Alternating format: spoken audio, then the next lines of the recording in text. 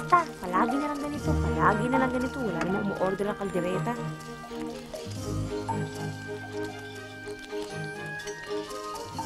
Huy, Manang, ano yan? Para sa mga anak ko.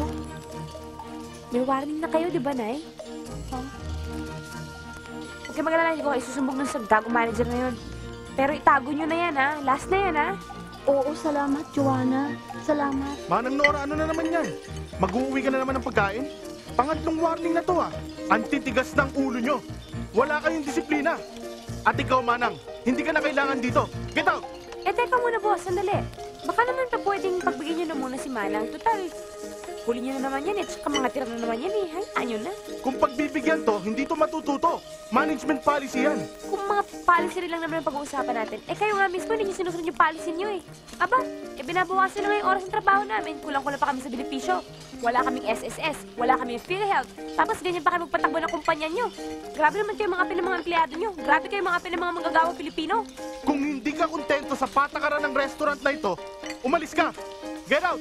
Sumama ka na kay Manang. He, na ituloy. Hindi ko na kailangan isama si Manang dahil mauuna ako kay Manang. I resign.